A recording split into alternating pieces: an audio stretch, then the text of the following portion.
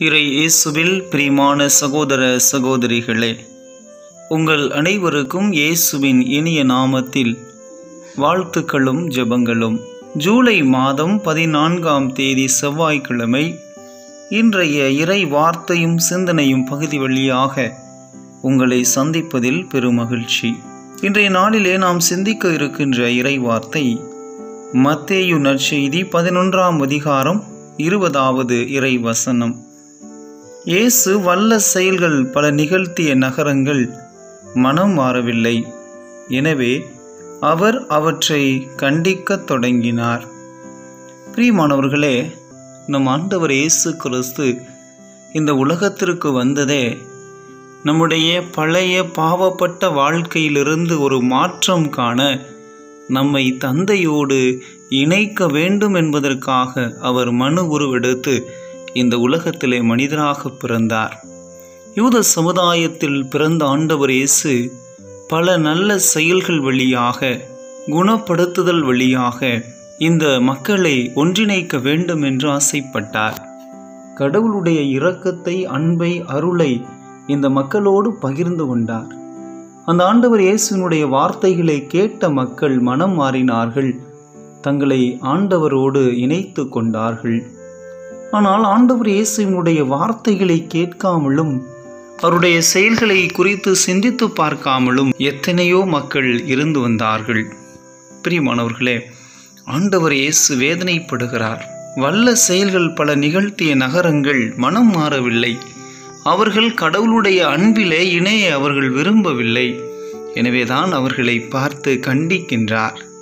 இந்த கண்டிப்பு என்பது கடவுளுடைய அன்பின் மறு உருவாக இருக்கிறது. நீதிமொழிகள் புத்தகம் மூன்றாவது அதிகாரம் பனிரெண்டாவது இறை வசனத்திலே நாம் வாசிக்க கேட்கின்றோம்.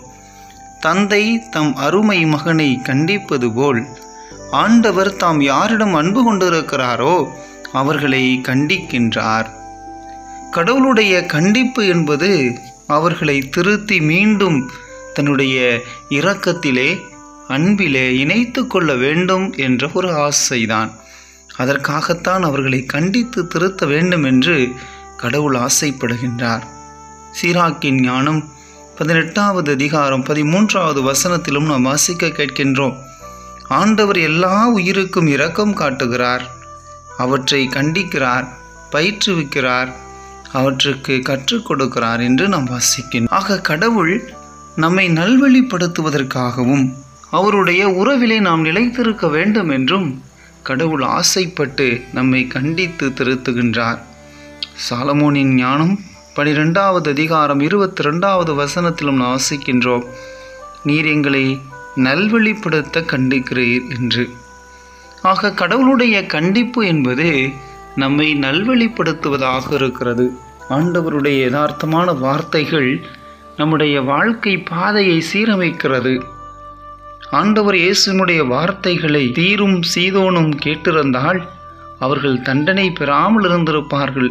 ஆனால் இந்த கொராசின் நகரும் பெத்சாய்தா நகரும் கடவுளுடைய வார்த்தைகளை கேட்கவில்லை என்று அவர்களை கண்டிக்கிறார்.